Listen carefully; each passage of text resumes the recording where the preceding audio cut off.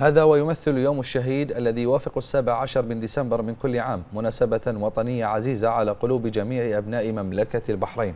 وجاء تخصيص هذا اليوم بتوجيه ملكي سام من لدن حضرة صاحب الجلالة ملك البلاد المعظم حفظه الله ورعاه ليكون يوما وطنيا لشهداء الوطن الأبرار وتكريما رفيعا نظير ما قدموه في سبيل حماية الوطن.